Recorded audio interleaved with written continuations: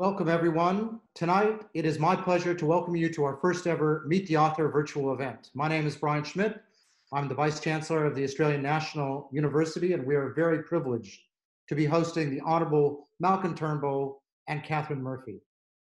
Now, for those of you who are regular attendees of ANU events, you will know that we often utilize Llewellyn Hall for our bigger events. And while we can't host you on our campus tonight, it is wonderful that we are able to bring to you this event virtually from Llewellyn Hall. I'm joining you from my home on the traditional lands of the Ngunnawal people, and our large audience tonight joins us from many different parts of Australia. Tonight, we acknowledge and celebrate the first Australians on whose traditional lands we, each of us, meet, and we pay our respects to the elders past and present. Before we start this evening, I'm going to run through a few pieces of quick housekeeping. This event will include a Q&A component later this evening, so please submit your questions throughout the event by clicking Q&A. You will have received an email from our events team with step-by-step -step details on how to do this. Please include your name and city along with a brief question.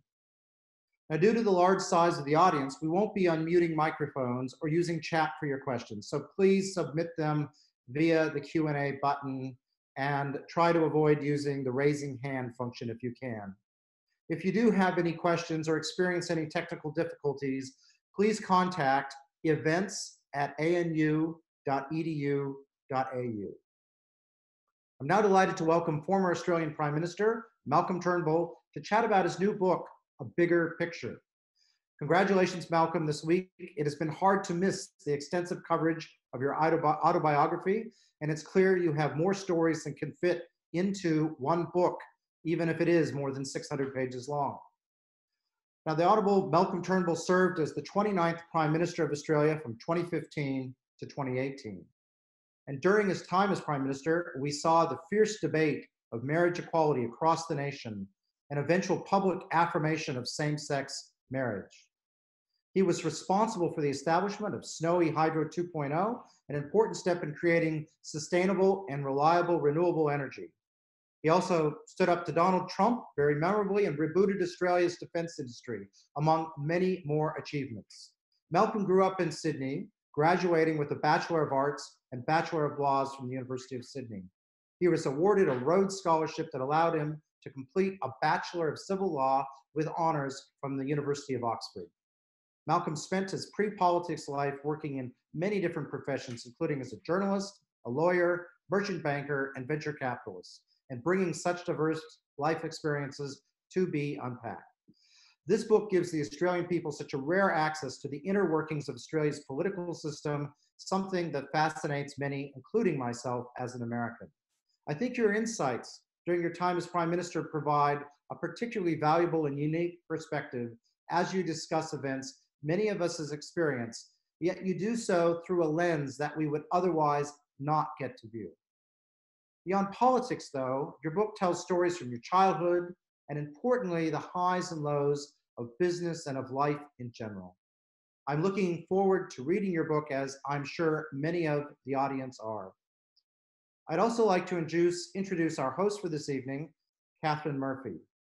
Katharine has been Guardian Australia's political editor since 2016, working in Canberra's Parliamentary Press Gallery for 22 years. Katharine is Adjunct Associate Professor of Journalism at the University of Canberra, from which she was awarded an honorary doctorate in October 2019. Katharine has won the Paul Lyneham Award for Excellence in Press Gallery Journalism and has been a Walkley finalist twice. Lastly, I'd like to thank Emeritus Fellow Mr. Colin Steele who has established our fantastic Meet the Author program, which has captivated our community for over 30 years now. Very pleased Colin is with us here tonight, and I thank you for your continued work to make the Meet the Author series possible and bring such a high caliber of authors to ANU. It is now my pleasure to hand over to Katharine to host the In Conversation. And so without further ado, I would like to invite Katharine to start. And thank you, Katharine. Thank you one and all. Thanks to Brian for such a generous introduction for both Malcolm and myself. And uh, I join with him in paying my respects to the traditional owners uh, on the lands on which we meet, and also in uh, paying my respects to ANU, uh, to Colin and to others who, as Brian says, runs an absolutely superb Meet the Author series. Uh, that I've been part of several times in the past. So I'm delighted this evening to be speaking to Malcolm, Malcolm Turnbull. I covered Malcolm's prime ministership, obviously, uh, all the highs and lows of it. Uh, and I have read the book, uh, and it's a terrific read. And I want to start, Malcolm, uh, with an observation that is also a question, if I can. So uh, the book opens with this great brio and ebullience. There's young Malcolm racing around the eastern suburbs of Sydney. There's your school adventures, there's university adventures, your precociousness in doing several things all at once. Uh, you head to Oxford uh, among uh, many, many japes there. You uh, demand that the vicar marry you and Lucy. Uh, then we sort of sprint into the business career again, uh, where there's great sort of energy and ebullience. But then the creeper we, or the, the closer we creep to your political life, a pall begins to descend. Uh, I, I, felt the gear change very strongly, actually reading the book from uh, early life to public life. So I just want to start with a general observation. So obviously you did you did come across from business, from journalism, from the law to uh, to politics, uh, setting aside traumas, which I'm sure we'll get to, what what are your observations about being a politician uh, in this period of history? What is it actually like to run a government right now? Uh, listen, before I begin, given that we are at least virtually in Canberra, can I say uh, Yangu Galinyin Nalawiri, Dani Nanawaldara, Wangara Li Marani, Balan, Bagarabang. Now, that's an acknowledgement of country in the Ngunnawal language. And uh, I was the first Prime Minister, I think that I may have been the first member of the House to speak in the Ngunnawal language in the House of Representatives. Uh, it's a very interesting story how the Ngunnawal language group in the Canberra district has been rediscovering and uh, uh, the language um, which was not entirely lost. And they've had fantastic support from a great institution in Canberra, AIATSIS. So, with that said, let me get, get on to the answer to your question. Look, uh, being Prime Minister of Australia is the best possible job. There is never a bad day to be Prime Minister. You can have bad days in the sense of terrible things happening, uh, but it's always a great honour and a great opportunity. So, uh, but it is, look, it, it's it's you know it's the office of wicked problems, as Annabel Crabb described the Prime Minister's office, because if the problems were easy to solve, they probably wouldn't find their way to the PM's desk. So uh, it's and these are particularly challenging times at the moment. But as you as you know, and people will read in my book, we had plenty of uh, interesting challenges, uh, personal, party, ideological, international. Um, no one was expecting you know, the parliament to be progressively cleaned out by Section 44. Mm. Uh, and um, nobody was expecting Donald Trump either. So it's a lot of exciting challenges, and that's that's that's what makes the job so uh, such a great job to have. It makes it very interesting. Okay, well, let's start with leadership and uh, and leading a political party. Now, uh, you uh, you had two periods of leadership uh, one in opposition, one in government. Now, I saw you try and learn some lessons from your first period as as uh, opposition leader and project them into your prime ministership. But this is your show, Malcolm. So, what did you learn the, from your first period of leading the Liberal Party? well, you know, I I, I learned that eh, the Liberal Party that there is a group of there is a group or a tendency or a, you know an element in the Liberal Party that have always uh, opposed me.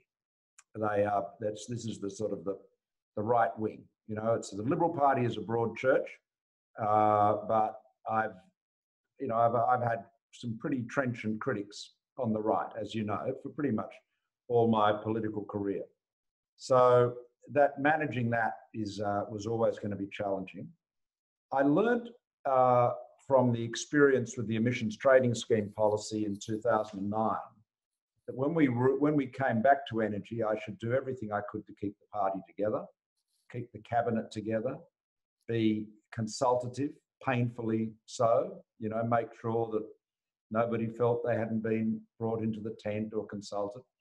And I did all of that, and that's why the National Energy Guarantee had such overwhelming support, but it was still not enough because there was a minority that was determined to bring the government down and bring my leadership down. Uh, you know, in in part because they wanted to frustrate Australia taking effective action on climate change.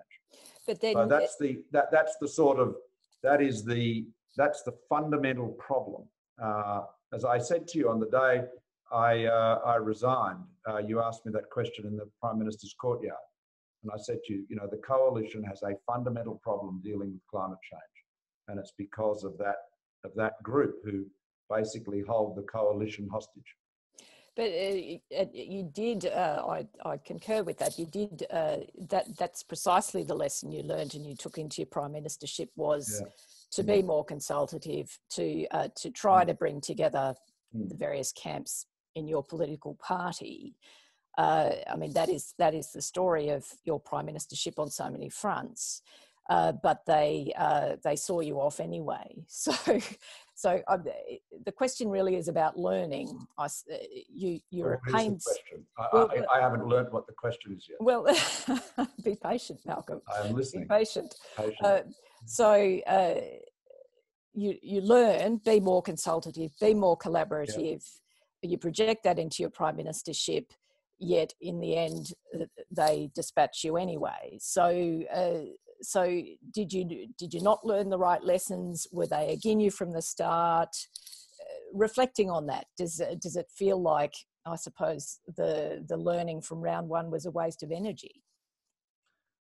Well no not at all because we've got a lot of other things done as well. Uh, the you know if there is a group of people in a parliamentary party like the Liberal Party that are prepared to blow the government up to get what they want in the expectation that the government will lose office, which is what they did. Uh, it is, it's, you know, it's very hard. It's like being on a ship with, uh, you know, members of the crew wanting to let off an explosion against the hull below the waterline. You know, people are prepared to do that. You've got a fundamental problem. And uh, so you're right. I did everything. I did everything right in terms of consultation, uh, but it wasn't enough, and they were determined to uh, to see me off and created enough mayhem with their friends outside the parliament, particularly in the media, uh, to do so. Of course, they didn't get their candidate up. You know, their goal was to make Peter Dutton prime minister, but in the chaos that followed, they got Morrison, who of course was the person they least wanted to be prime hmm. minister. Mm. So they were um, they were they got full marks for destruction, but uh, very low marks for um, effectively achieving their goal. Achieving the end point. Uh, during that mad week uh, where uh, you were blasted out of the prime ministership, Warren Entsch uh, wrote on the petition uh, that uh, he was signing the petition to spill your leadership, and that this was for Brendan Nelson. He yeah. wrote. Now, uh, that was a bit of self-serving. That was a self-serving fig leaf to cover up the reality that Warren was doing it because he was under pressure from the LNP. Well, well, the LNP basically put out a, you know, a what do they call it? A three-line whip in the House of Commons, but they the pressure on the Queensland members was inexorable uh, and irresistible for almost all of them. Yeah. Uh, to uh, support Dutton. No, sure, and that that's certainly true. They did they did whip their own numbers uh, behind uh, mm. Dutton, but the but the my point was a a larger one. Um, obviously, uh, the the the that mad leadership week was without a doubt the maddest the maddest seven days I've ever seen in politics, and I've seen a number of mad days. But uh, why is it uh, the events beg the beg the question, beg Warren's question? Uh, obviously, you took uh, the party leadership uh, from Brendan Nelson. Uh, you also replaced Tony Abbott in the leadership mm. on on two occasions. on two occasions, you lost the leadership of of the party. So, why is it okay for you to take the leadership of the party, but not okay to lose it? Well, in in in the case of, I mean, each leadership uh, contest is has got to be looked at on in, on its own facts, right? Uh, Nelson was um, in a terrible, you know, situation. You know, as you know, electorally from a polling point of view, uh, I didn't challenge him. I mean, Nelson, I wasn't sort of setting out to challenge Nelson. I've been overseas for 10 days or so with Lucy in, in Venice, actually. Um, and I got back jet lagged one morning. And uh, at about uh, six o'clock that night, Nelson announced that um, he was spilling the leadership of the party and there'd be a ballot the following morning. So I was completely ambushed. And uh, that was the intention. You know, Jo Gash, you remember, who'd been overseas at the UN, she'd been brought back so that she could vote for Brendan. So the idea was to flush me out and defeat me in the ballot. And of course, it, as it turned out, I, I won the ballot. Uh, but, you know, Brendan, you know, Brendan's position was terrible from a, you know, polling and every other point of view. As far as Abbott was concerned, uh, I thought he was leading a terrible government. I felt ashamed being part of it. It was, it was, I either had to challenge him you know, my intention was to challenge him, and if I was unsuccessful, as I told him, resign. I'd be I'd be gone. Uh, so I did so, and uh, it, with the electoral reaction was extremely positive, as you know. Um, in terms of the challenge against me, what was the basis of it? There was, you know, we were, from an electoral point of view, we were in the strongest position we'd been in since the 2016 election. I mean, the view that many of us held including Scott and including many others, some of them are quoted in the book, was that uh, the right were not concerned that I would lose the election, but rather that I'd win it. In other words, they'd rather they had Shorten as PM than me. Uh, let's, uh, I'm just conscious time short, and I'm just reminding everybody tuned in to uh, send your questions. And not, not everyone is as fascinated with the coup as perhaps you are. So oh no, no, no! I'm still. Uh, I, I, wouldn't. I wouldn't describe it as as fascinated. Morbid fascination. Morbid, morbid. Um, no, it was. A, it was a. It was a dreadful. It was a dreadful week. Um, uh, so uh, now we, the media, we copper pasting in the memoir. Uh, and I want to, there's two. Well, you, the Guardian, you're about no, no, no. part of the media I say nice things about. no, no, the media you and the generally. ABC. the media generally, right? There's Oh, uh, yes. significant issues here. So let's look at both of them. You uh, critique uh, the right wing media ecosystem in Australia, Murdoch, Sky, and others, and we can get on to that and moguls in a moment. But the rest of us also do cop a pasting that uh, as being too interested in soap opera uh, and Mm. not uh, not sufficiently interested in policy. Is that uh, that your impression? And and if if it is, Well, I think it's true. I think you know it's right too. I mean, you know, you and uh, Lenore's no longer in the gallery, but Lenore Taylor used to write very well about policy always, and you always have too. But um, the press gallery, you know, look, there are plenty of honourable exceptions, but I think we know now that politics is covered largely like a like sport, like football, you know and it is uh, you know who's ahead, who's up, who's down, you know who's sidestepped whom, who's tackled whom, and that's the that is the so it's the game that's being covered, uh, not the actual substance of the issues. Now I'm not saying the game is unimportant, but you've got to be prepared to cover some of the the issues as well. And uh, I don't think governments are being held to account sufficiently, uh, and I don't think the you know, I think one of the problems we've got is that lying and dissembling is rewarded uh, as clever politics rather than being called out. And of course, the Mediscare in 2016 was a classic case of that. Just with um, moguls, let's think about that for a minute. you, you recount a number of conversations in the book, Kerry Stokes, Rupert Murdoch, other players. Now, in, in, in Goldsmith, Packer, Black, all, all of them, right? Moguls, various- I've had a few. Well, exactly, right. But but there's also uh, that has been a long established tradition in Australia's political system, dating back from Alf- to Alfred Deakin and David Syme, that there has Mm. been this close uh, a symbiosis, if you will, between uh, media proprietors and politicians. Mhm. Uh, but you narrate some uh, some some um, very contemporary, uh, well, a very contemporary experience of that. So, do you think that that's always been crook? That that uh, that uh, politics and and media moguls are are too close? That there is this symbiosis that can send the whole thing well cancerous, for want of a better word, or do you think that that things have have gone off the ra- run off the rails in more contemporary times than say back when Alfred Deakin was speaking to David Syme? Well, I've been involved in um, political politics and journalism and moguls for well over 40 years. Um, and uh, have worked with a number of them, worked against a number of them, sometimes same person. So I'm, you know, I'm familiar with the scene. I think it's worse than it's ever been. I think what has happened is that the the for a start, the domination that Murdoch has in the print media is, is, a, is a, has been a big problem for quite a while. Of course, it was a Labor government that allowed him to acquire the Herald and Weekly Times back in the late 80s.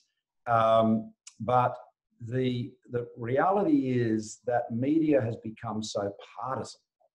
You know, there, there isn't even, if you look at, take a newspaper like The Australian or take, you know, Sky News for, you know, just two examples there is not even the pretense of objectivity. This is political propaganda.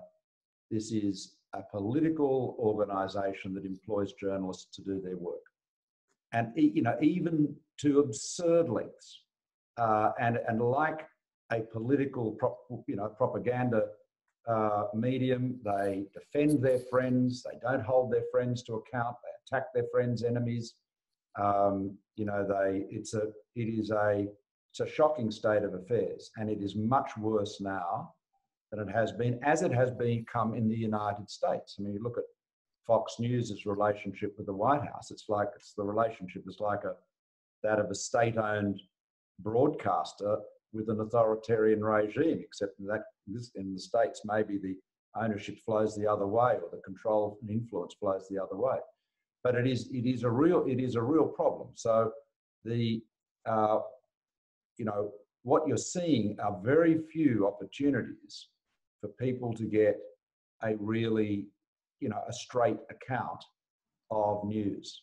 Uh, and you get this idea of alternative facts and bizarre spin. I mean, you know, just little sort of th- kind of absurd things. I mean, the um, the News Corp, you know, as you know, I was on the 7:30 report on Monday night. It was the with Leigh Sales, and no doubt thanks to Leigh's, uh, you know, talents uh, and star quality, the ratings for the 7:30 report was the highest they've had since 2015. So it was a huge success from the ABC's point of view. If you're ever a reader of the News Corp papers, you'd believe the program was a flop, and they literally wrote it up as being a failure because there was one program that night in that slot that outrated it. You know so it's it's literally so it is every it, it's a it, it's a dangerous time. Now why has this happened? Let me give you a theory. In the old days before pay tv uh, before the internet uh, media and newspapers for example had to wanted to appeal to a broad audience because they wanted to maximize the eyeballs that they got for their advertising. And so when the Sydney Morning Herald was founded in 1840 or thereabouts, it said on its first page, in moderation placing all my glory, while Tories called me Whig and Whigs a Tory. Now the old Fairfaxes were very much in the Tory side of the political divide, but they knew they had to get as many readers as possible. Nowadays, the economics of media have completely changed. And so people can narrowcast it's cheaper to produce news, particularly electronically. You can narrowcast to a very, you know, narrow silo uh, of the community, and you can do quite well out of that. And so essentially, people are now able to select their own facts and their own news.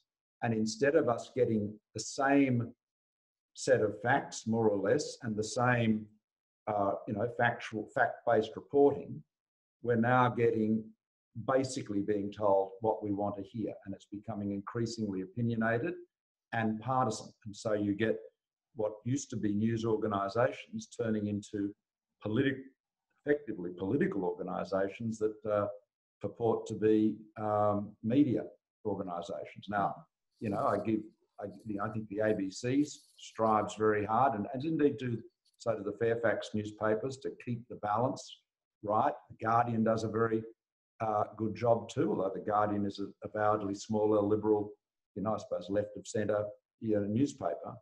But you're not seeking to misrepresent the facts. But elsewhere in the media landscape, it's getting more and more, um, you know, it's getting it's getting more and more dangerous because uh, you're essentially dividing the community and, and not, they're not having the shared facts that you, you need to have to make a shared the shared decisions that we should be making in a democracy. Mm, well, it sort of it, it, kind of loops back to the question I opened with about what it's like to govern uh, well, in this contemporary I mean, it's, environment. It's, it's, it's hard, but I mean, having said that, you know, as I've said many times before, quoting, I can't recall whether it's Churchill or Enoch Powell, two very different people, but one or other of them said a politician who complains about the newspapers is like a sailor who complains about the sea.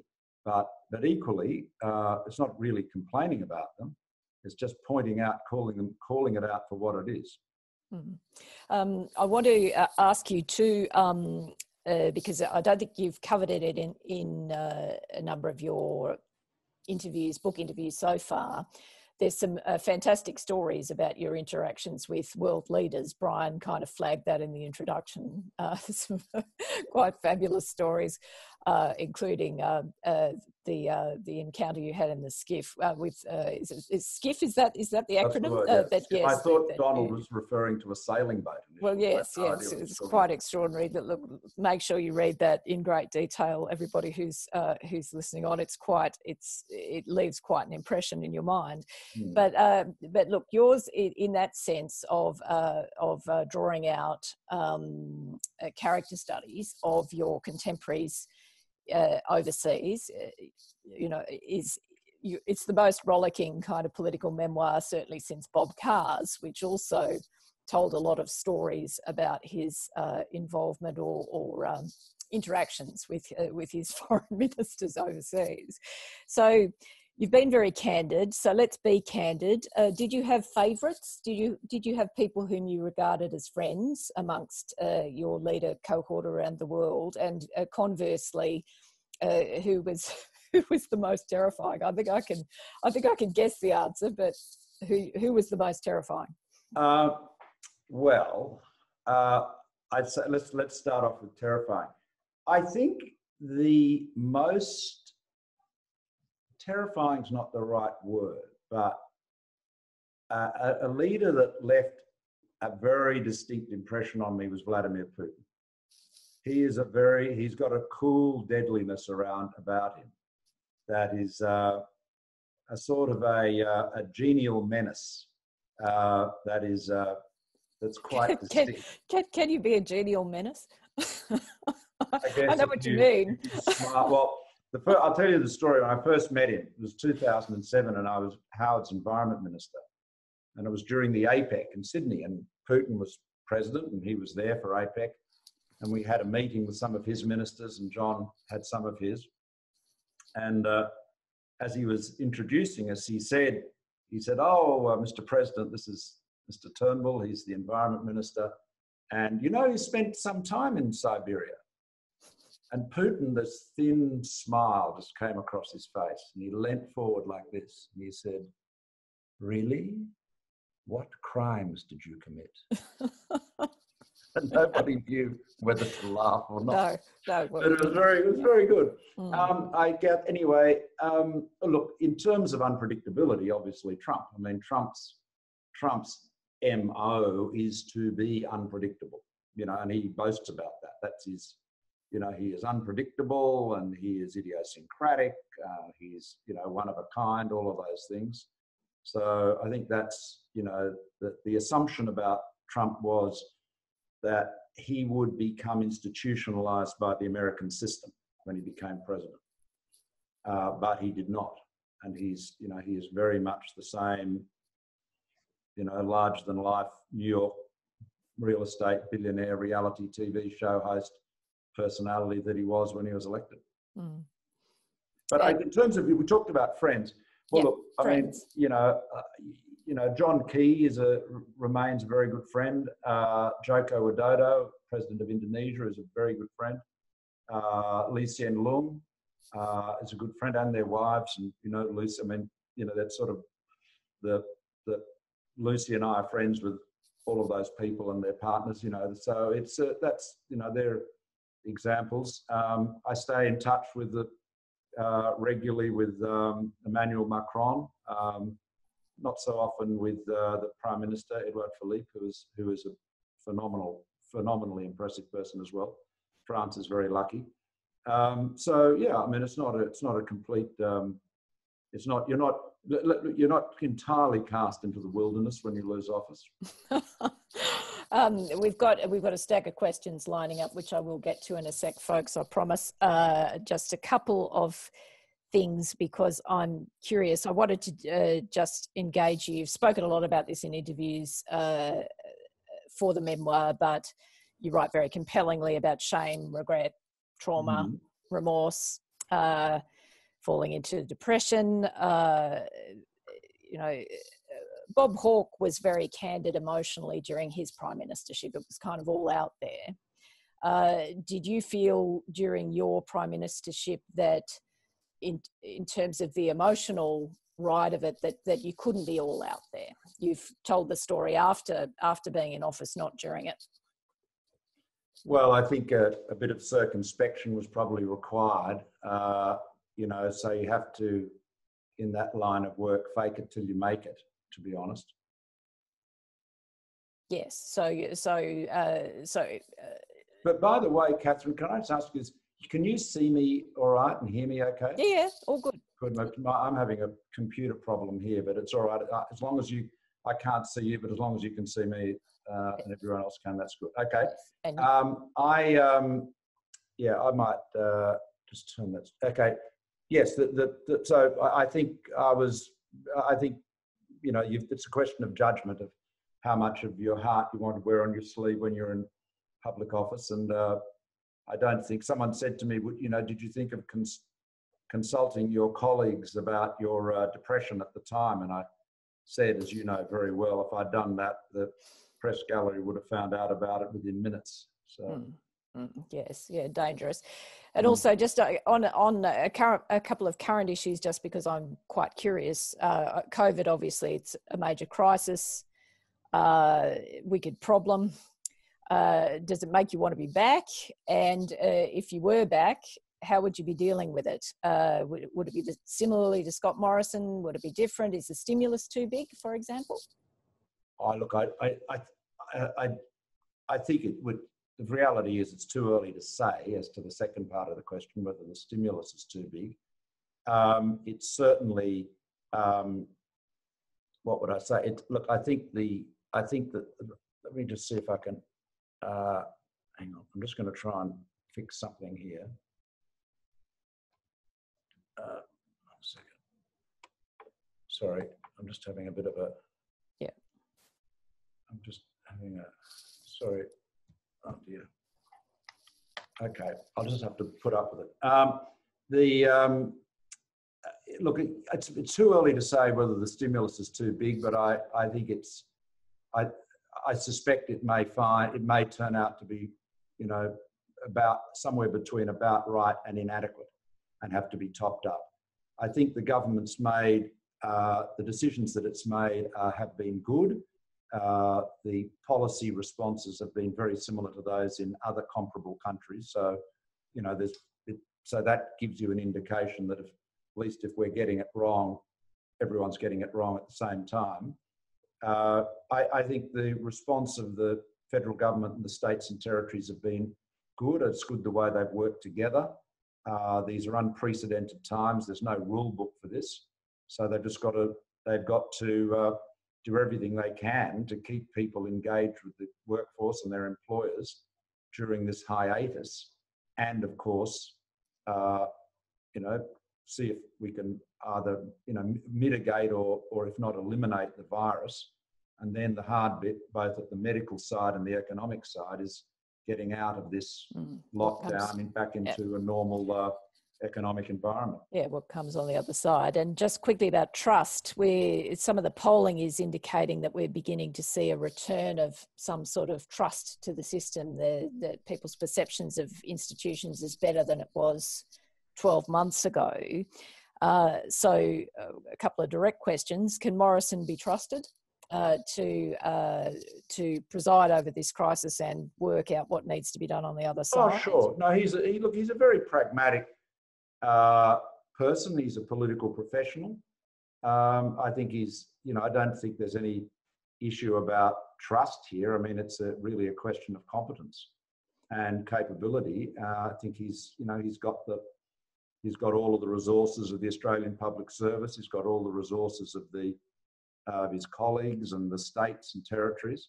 Uh, so he's getting plenty of advice. I think the challenge is going to be uh, the, the, hardest bit, I think, is going to be managing the economic recovery mm-hmm. uh, and what the right measures are to get out of it. But, you know, the, the good thing is, it's a bad thing, you know, at one level, but it's a good thing in another.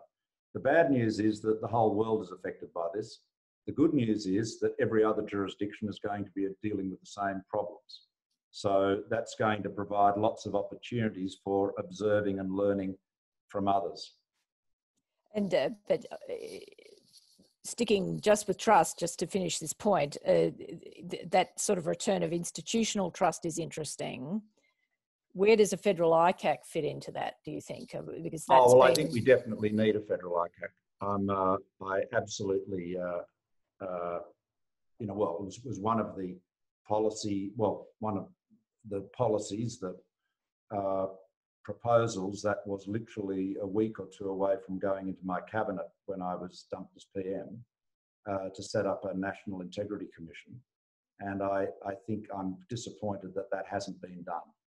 Uh, I think we, I think there, I think there's a real problem that governments are not being held to account.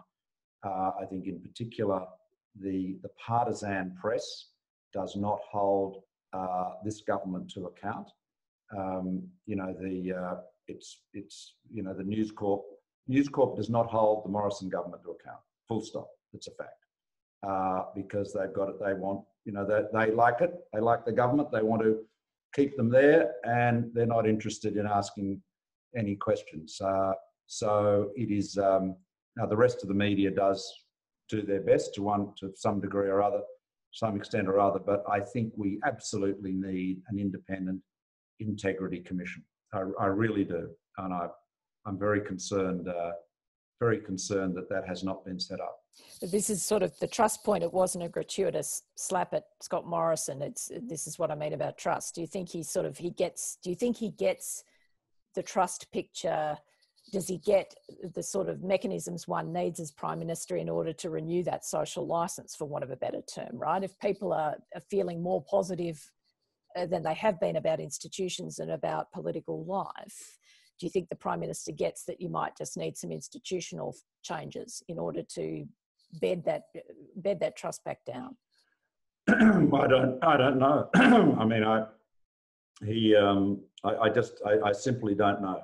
Uh, the you know that you're better off rather than speculating you're better off judging people by their actions and the inaction on a national integrity commission is rather disturbing i think mm-hmm. okay well we go to some questions from the audience here i'm sorry this is obviously troubling for you malcolm i'm not sure no no it's okay i've end, just turned but... my screen off ah so okay. as long as i'm not being i was having literally green and red flashing lights in front of me, so I've got a mm, problem well, with my screen. But no, no.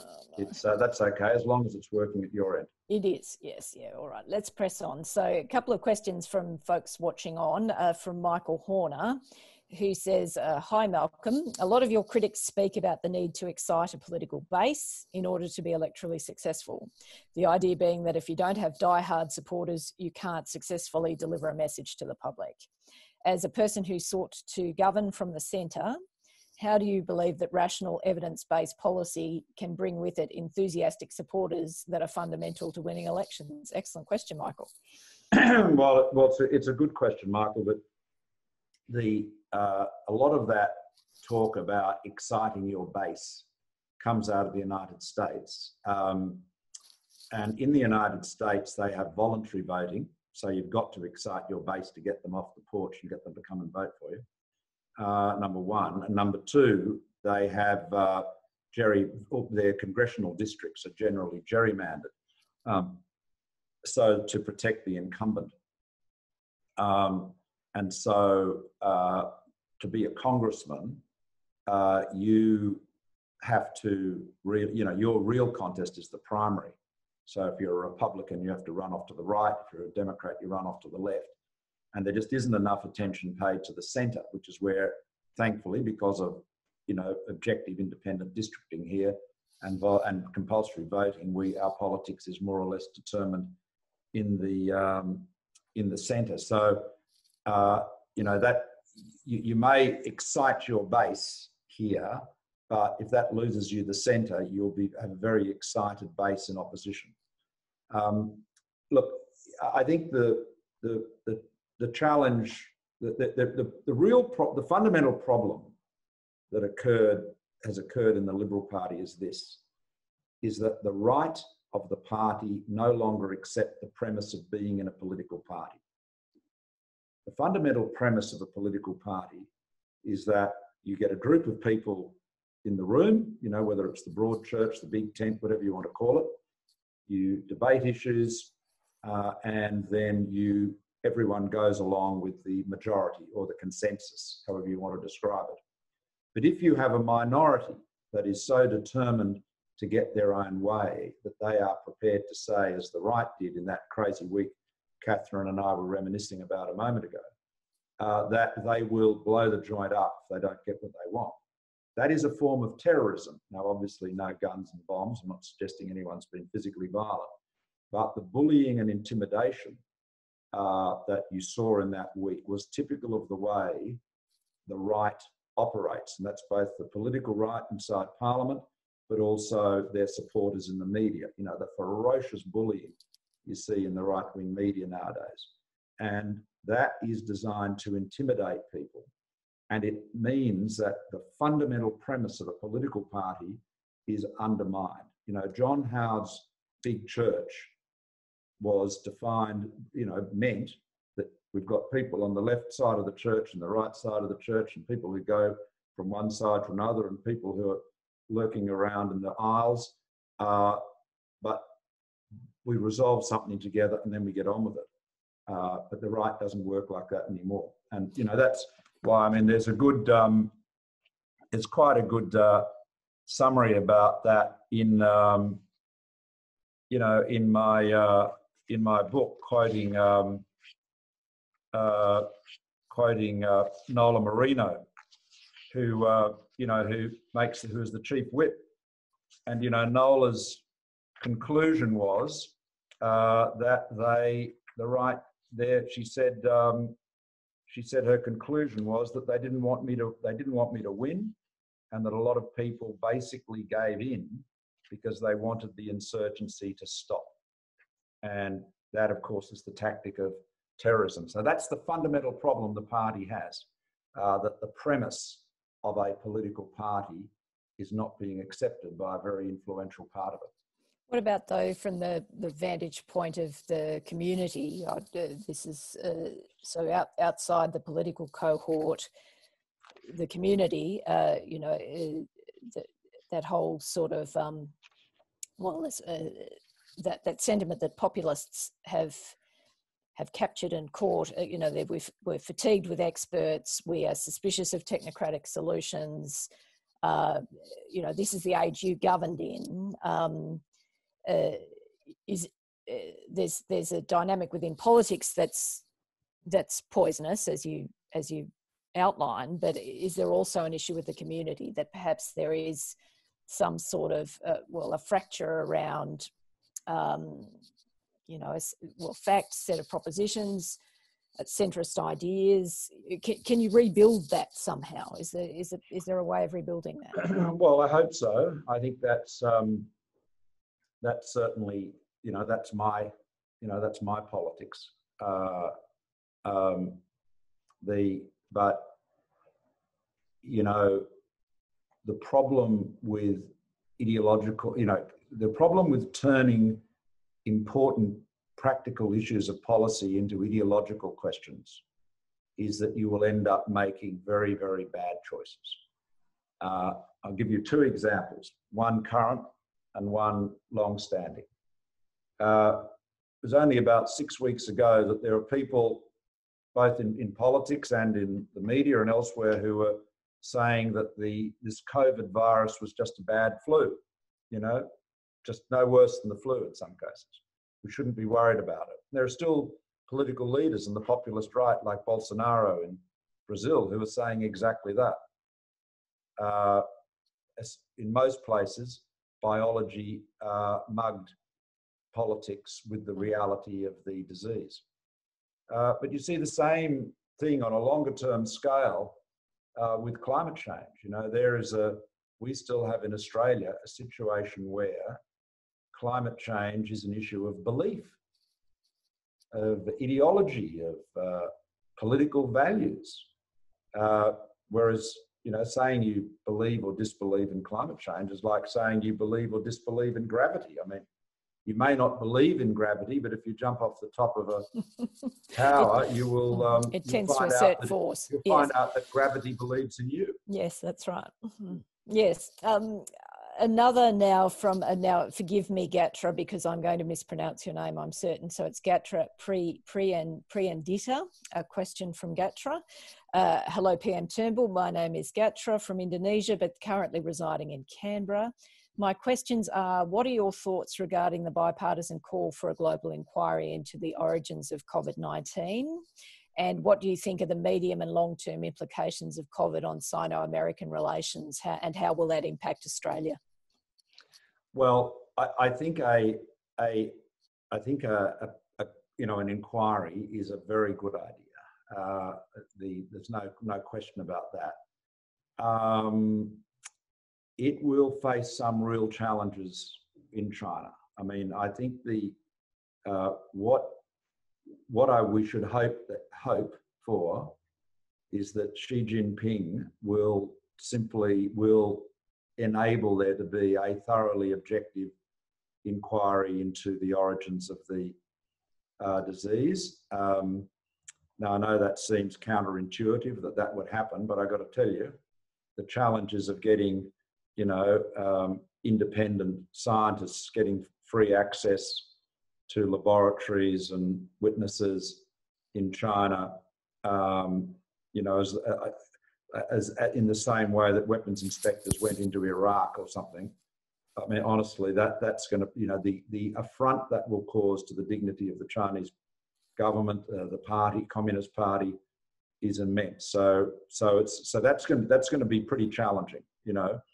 Uh, I mean, you can you imagine the Americans allowing a, you know, an independent uh, delegation of Chinese and Russian scientists to uh, conduct an inquiry in the United States. So, you know, great powers will deal with this in a in in a different way. But the one thing that is absolutely clear is that while countries may have a vested interest in keeping certain things secret, you know, weapons and you know scientific inventions, perhaps. As far as this, these pandemics and viruses are concerned, everybody has a massive vested interest in the maximum transparency. And, you know, what um, the way it should be approached, I think, with China is to say, look, and this is unfortunately, you know, a lot of the rhetoric in the West um, has already become very angry, and that's going to make it harder in China. I'm not suggesting the anger isn't justified, by the way, but I mean, really, uh, we've got to, we need the Chinese Communist Party to say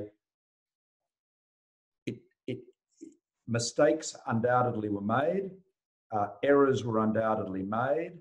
Uh, it's inevitable that in a bureaucracy, things were covered up and accountability wasn't uh, uh, appropriately managed. But what we have to do now is let the sunlight into all of it because the whole world needs this to happen because the next virus will start somewhere else. And so everybody, we all need to have maximum transparency here. There is, you know, we're all, the one thing this virus has demonstrated is we're all on the same planet. And the virus can start in Wuhan, but it's killing people in Wisconsin. And, you know, so you, you, that's the, that is the challenge. But this is going to be a very delicate one. Now, that feeds into the second part of the question about how it will affect American Chinese relations. I think it'll affect it very badly uh, because uh, Americans will say this virus originated in China. Um, uh, action could have been taken to control it sooner, and that's, I think, there's every reason to believe that. Um, the uh, that you know there was a, a, whether it was a cover up or you know just turning a blind eye or or not wanting to believe a terrible reality for whatever reason action wasn't taken soon enough, and Americans and everyone will feel that this virus could have been bottled up sooner in Wuhan, and that's why, uh, you know, the, most the most powerful thing Xi could do as a leader is say, undoubtedly mistakes have been made. We are going to be completely transparent about them because we want to learn from them and we want everybody else to learn from them so you don't make the same mistakes too.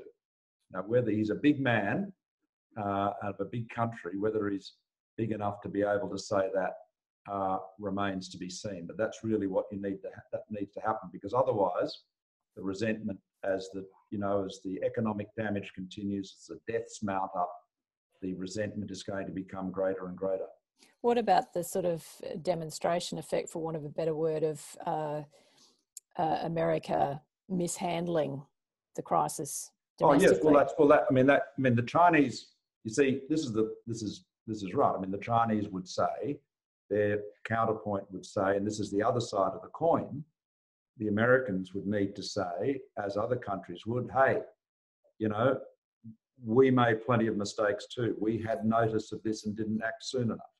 I mean, you know, there's there's this is going to be a very complicated history to write, but you know, one thing that is screamingly obvious is that from early February, the cruise ship industry should have been shut down.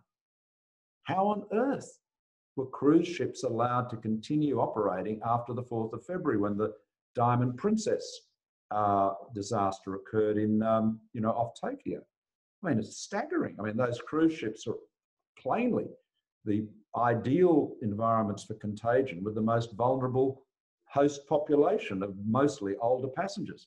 So, uh, and if you, if you, I'm not, and this is not a criticism, this is a criticism of all governments, but, but not exclusively ours. But if you look at Australia, imagine what our position would be in respect to this virus if the cruise ship industry had shut down in early February.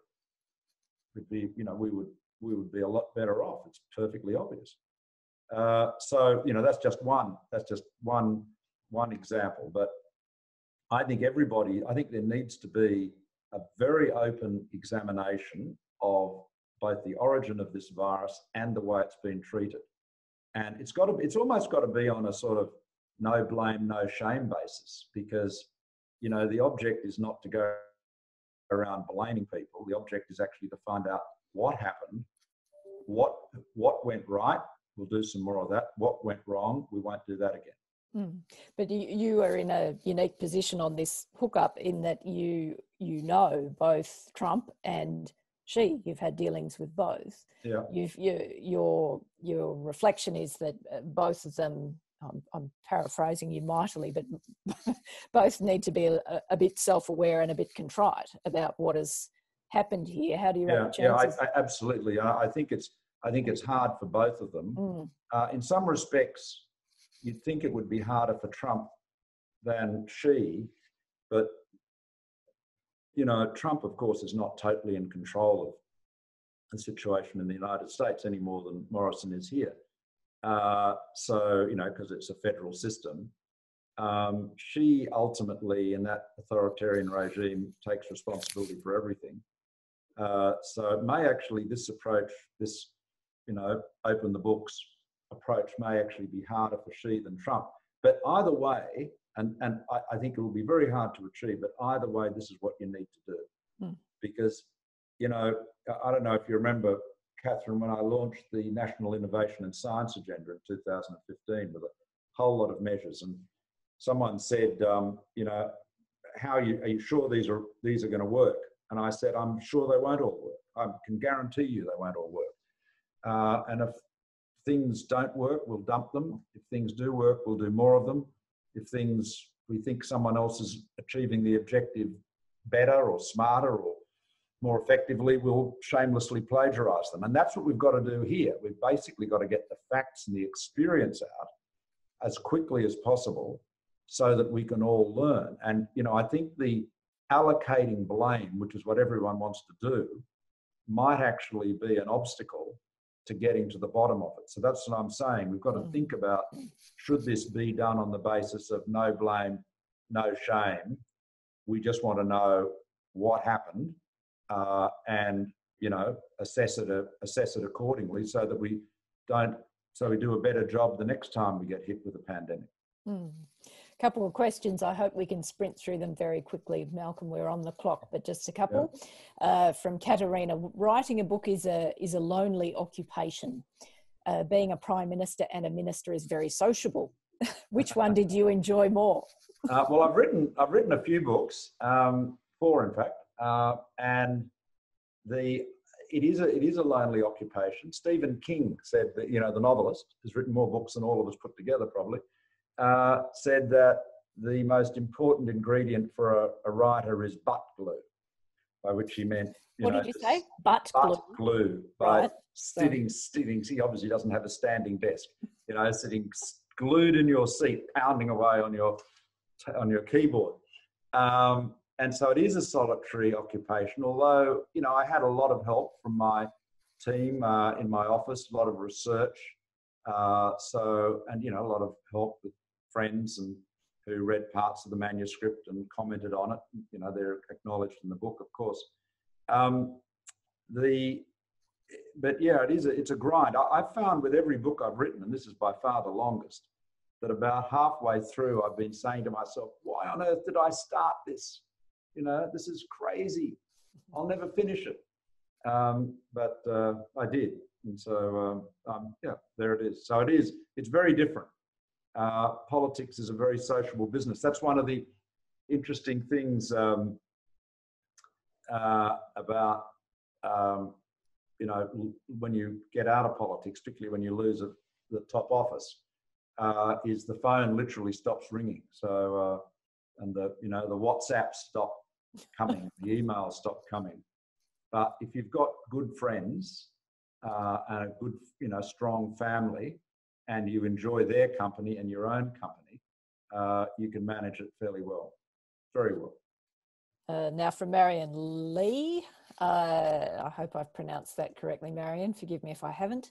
Uh, Julie Bishop was foreign minister and also deputy PM under several leaders. How do you rate her role in your government? I don't know the answer, but uh, anyway, there we go. Excellent, excellent. yes. Good. Full marks. Full Uh, marks. but uh, why do you think out of she, 10. but why do you think she was so roundly defeated in her bid for your position as prime minister? And did it ever occur to you to endorse Julie rather than Morrison? And if not, why not? Marion asks. Well, the first thing is I did endorse Julie. I voted for her. Um, and uh, the, there were 11 people who voted for Julie, two of whom were me and Julie. Uh, the Look, uh, basically, there was a real concern from the people, mostly moderates, who were determined that Dutton not become Prime Minister. There was a real concern that if the ballot ended up between, if there was a ballot between Dutton, Julie, and Scott, and if the moderates all piled in to support Julie, that, uh, and she finished ahead of Scott, and so it was Julie v. Dutton that Dutton would win. Uh, we'll never know whether that's right or not, but I think there's there's some force to that argument. Uh, there are there were quite a few people in that party room that would not vote for Julie, uh, not least because she was a woman, and uh, so that was um, you know, that was that was that was the reason why uh, most of the moderates voted for uh, Morrison rather than Julie in that first ballot. Uh, the, now where are we? Yes, Helen Sullivan uh, from ANU. Helen Sullivan uh, says that Barack Obama said in 2019 that if women ran every country in the world, uh, picking up from Julie, if women ran every country in the world, there would be an improvement in living standards and outcomes.